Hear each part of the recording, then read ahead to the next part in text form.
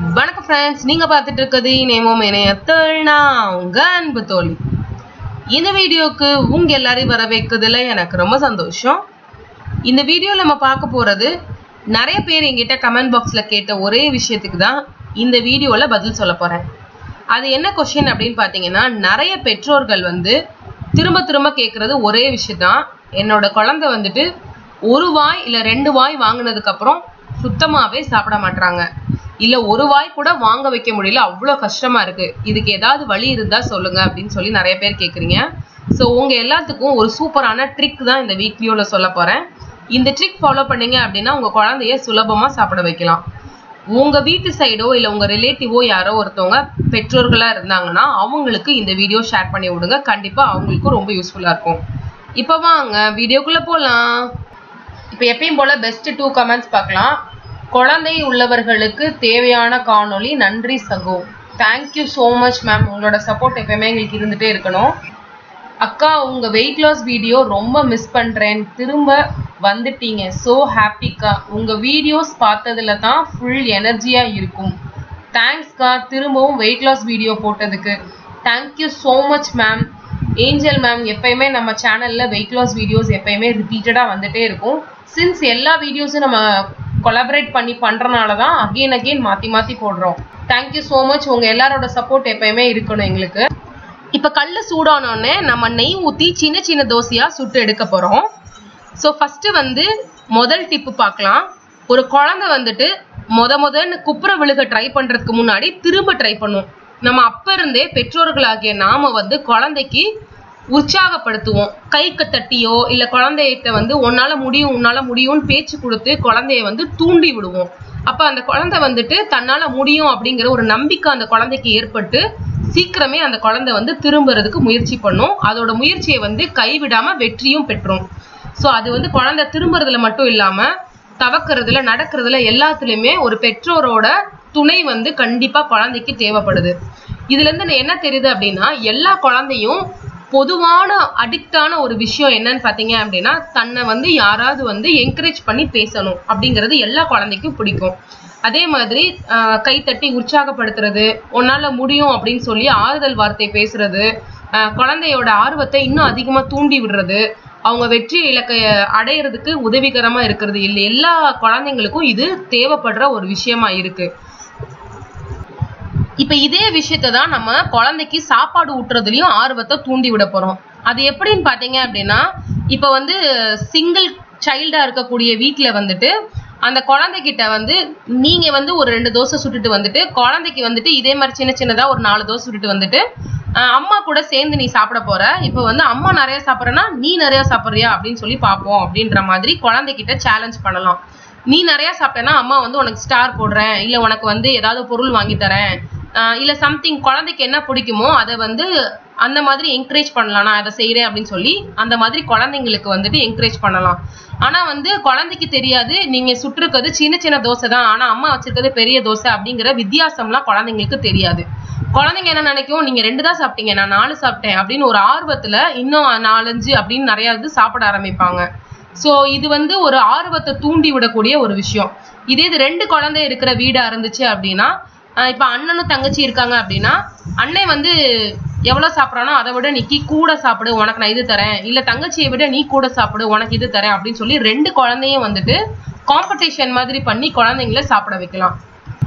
இதுல ஒரு முக்கியமான விஷயம் என்னன்னு பாத்தீங்கன்னா குழந்தைங்களுக்கு நீங்க என்ன ப்ராமிஸ் பண்ணிருக்கீங்களோ அதை வந்து கண்டிப்பா நீங்க செஞ்சு கொடுத்துடணும். அதாவது வந்து இப்ப இந்த தோசையை நீ சாப்பிட்டேன்னா அம்மா உனக்கு ஸ்டார் போடுறேன் அப்படின்னு சொல்லியிருந்தீங்கன்னா கண்டிப்பா அந்த ஸ்டாரை போட்டுறணும்.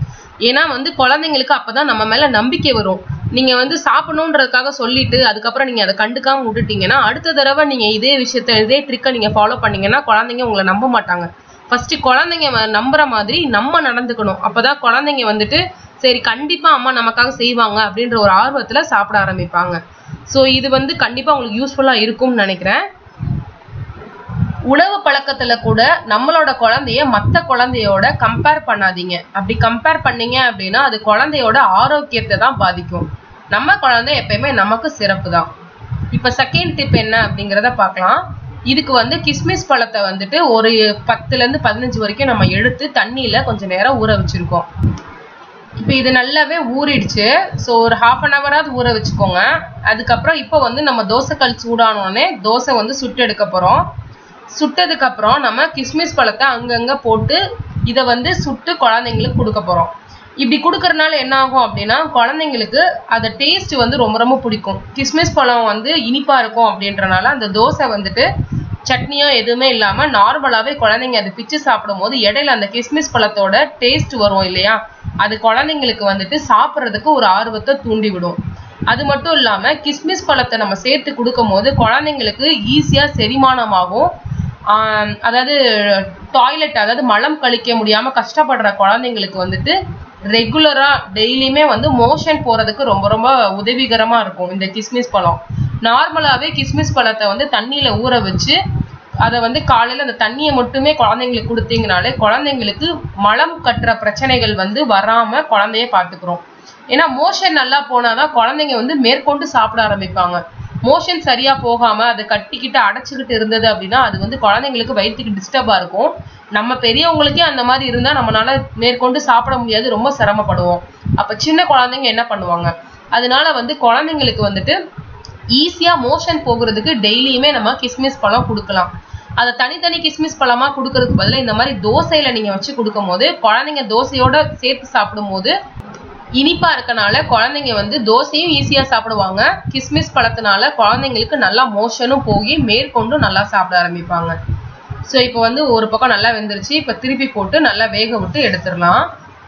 ஸோ உங்களுக்கு வேணும் அப்படின்னா நீங்கள் வந்து ஃப்ளாட்டாக சுட்டு போடனாலும் போட்டுக்கலாம். இல்லை இந்த மாதிரி மொந்தையாக கொடுக்கறனாலும் கொடுத்துக்கலாம். உங்களோட இஷ்டம் தான் இப்போ அடுத்தது பார்த்தீங்க அப்படின்னா இப்போ சின்ன குழந்தைங்க அப்படின்னா அந்த கிஸ்மிஸ் பழத்தை கடிச்சு சாப்பிட மாட்டாங்க இல்லையா? அதனால நல்லா ஒரு அரை மணி நேரத்துக்கு மேலே ஊறின அந்த கிஸ்மிஸ் பழத்தை ஒரு மிக்ஸி ஜாரில் போட்டு இப்போ நம்ம வந்து அடிக்க போகிறோம் இப்போ கிஸ்மிஸை வந்து நல்லா நைஸாக அடிச்சாச்சு.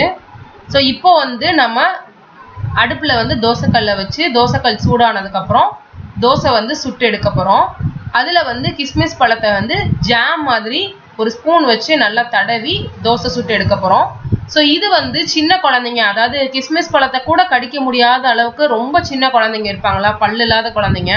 அந்த குழந்தைங்களுக்கு இந்த மாதிரி கொடுக்கும்போது அவங்களுக்கும் சாப்பிட்றதுக்கு ஈஸியாக இருக்கும். ஸோ கிஸ்மிஸ் பழம் அப்படிங்கிறது வந்து ஆறு மாதத்துலேருந்து பெரிய குழந்தைங்க வரைக்கும் எல்லா குழந்தைங்களுக்கும் கொடுக்கலாம். ஏன்னா அப்போ தான் வந்து மோஷன் பிரச்சனைகள் வராது. நிறைய பேர் வந்து என்கிட்ட கமெண்ட் பாக்ஸில் கேட்குறது என் குழந்தைங்களுக்கு வந்துட்டு மோஷன் போகிறதுக்கு ரொம்ப கஷ்டப்பட்டு சிரமப்பட்டு நீன்னு அழுதுகிட்டே இருக்காங்க. என்னதான் பண்றதுன்னு தெரியல அப்படின்னு சொல்லி கேட்டுட்டே இருக்கீங்க. ஸோ அதுக்காக தான் மெயினாகவே இந்த டிப்பு இந்த கிஸ்மிஸ் பழம் வந்துட்டு நல்லா அரைச்சதுக்கு அப்புறம் ஜாம் மாதிரி ஆயிரும். ஸோ நம்ம தடவுறதுக்கு ஈஸியாக இருக்கும். நான் வந்து தோசையோட நடுப்பகுதியில் மட்டும்தான் தடவுறேன். ஆனால் நீங்கள் வந்து சுற்றி தடவணும்னா நல்லா ஸ்ப்ரெட்டாக ஓரத்தில் முத கொண்டு எல்லா இடத்துலையுமே நல்லா சுற்றி தடவிக்கலாம். கண்டிப்பா அரைக்கும் போது குறைஞ்சது ஒரு பதினஞ்சுல இருந்து இருபது கிஸ்மிஸ் பழமாவது நீங்க சேர்த்தீங்கன்னா மட்டும்தான் மிக்ஸி ஜார்ல அது நைஸா அடிச்சு கொடுக்கும். நீங்க ரெண்டோ மூணோ போட்டு அடிச்சீங்கன்னா கண்டிப்பா அடிக்கவே அடிக்காது. ஸோ ஒரு பதினஞ்சுலேருந்து இருபது கிஸ்மிஸ் பழத்தை ஊற வச்சு நல்லா மசியாக அடிச்சுக்கோங்க. அடிச்சுட்டு இந்த மாதிரி தடவிட்டு குழந்தைங்களுக்கு நீங்கள் கொடுக்கலாம். இப்போ வந்து நம்ம என்ன சேர்த்துக்கிறோம்? தோசை நல்லா வெந்ததுக்கப்புறம் திருப்பி போட்டு நல்லா வேக விட்டு எடுத்தோம் அப்படின்னா கிஸ்மிஸ் பழமும் நல்லா வெந்துடும் இது பார்த்தீங்க அப்படின்னா குழந்தைங்களுக்கு வந்துட்டு சரியா நைஸா அடிக்காம விட்டுட்டோம் அப்படின்னா அந்த தோல் வந்து நர நரன் இருக்கும் சாப்பிடும் போது அதனால வந்து குறைஞ்சது நான் சொன்ன மாதிரி ஒரு பதினஞ்சு கிஸ்மிஸ் பழமாவது போட்டு அடிச்சு எடுத்துக்கோங்க. நல்லா மசி ஆகுற அளவுக்கு கிரைண்ட் பண்ணிக்கோங்க மிக்ஸி ஜார்ல. இப்போ வந்து ரெண்டு பக்கமே தோசை நல்லா வெந்துருச்சு. இப்போ வந்து இப்போ தோசை கல்லேருந்து இப்போ தோசை எடுத்து நம்ம குழந்தைங்களுக்கு சர்வ் பண்ணிடலாம். இது மட்டும் இல்லாமல் இன்னும் நிறைய டிப்ஸ் இருக்கு. உங்களுக்கு வேணும்னா கீழே கமெண்ட் பாக்ஸில் கமெண்ட் பண்ணுங்க. நம்ம அடுத்தடுத்த வீடியோவில் அதை பார்க்கலாம். ஸோ இப்போ வந்து குழந்தைக்கு இதை சர்வ் பண்ணிடலாம். ஸோ இதில் வந்து நம்ம மொத்தம் மூணு டிப்ஸ் பார்த்துருக்கோம். இது கண்டிப்பாக உங்களுக்கு ரொம்ப பிடிச்சிருக்கும்னு நினைக்கிறேன். பிடிச்சிருந்தா லைக் பண்ணுங்க. ஏதாவது சஜஷன் இருந்தது அப்படின்னா கீழே கமெண்ட் பாக்ஸில் கமெண்ட் பண்ணுங்க. நம்ம சேனலை சப்ஸ்கிரைப் பண்ணனா சப்ஸ்கிரைப் பண்ணிக்கோங்க. தேங்க்யூ பாய் உங்களோட கமெண்ட்ஸும் நம்ம சேனலில் வரணும்னு நினச்சிங்கன்னா ஸோ உங்களுக்கு என்ன கமெண்ட் உங்கள் மனசில் தோணுதோ அது எதாக இருந்தாலும் நீங்கள் தாராளமாக ஷேர் பண்ணலாம். பெஸ்ட் கமெண்ட்ஸ் வந்து டெய்லி ரெண்டு வந்து செலக்ட் பண்ணி நம்ம சேனலில் கண்டிப்பாக அந்த கமெண்ட்டை வந்து வாசிப்போம். ஸோ நீங்களும் வந்து அதில் பங்கேற்றுக்கோங்க